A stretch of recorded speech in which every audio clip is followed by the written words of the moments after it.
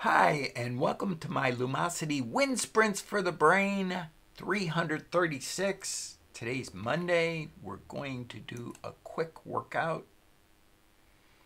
Oh, I forgot to look at my. Sorry about that. 1504 is our current LPI. 1512, we just went up one point yesterday in math. Now we're going to go into Let's see if we can defend 1504. Feeling okay. Eight hours of sleep. Spatial speed match. It is exactly that speed.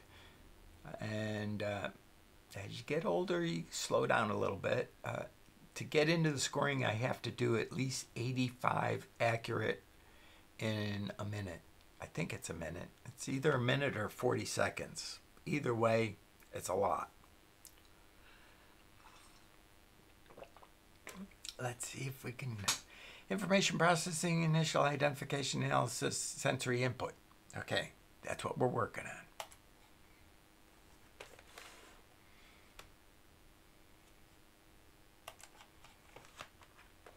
I don't have sound.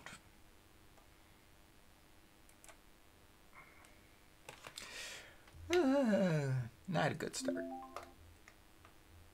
You have sound. I don't belong have to sound. a new song. When the door opens and Ed Sheeran walks in, What he the gives heck your is entire this? music class Oh, brand man. new guitars. I gotta have to start this whole thing all you, over And then hands over tickets to his upcoming show. that stadium tomorrow, I've, I've got What the heck is going on Okay. Oh, that's. That's not a far-fetched fantasy. That's exactly what happened to a group of high school band students in Tampa who were learning to play one of his great. songs. Now we're. Oh, there it is. Got it. the joy of having things go wrong. Maybe we'll just save this as a blooper.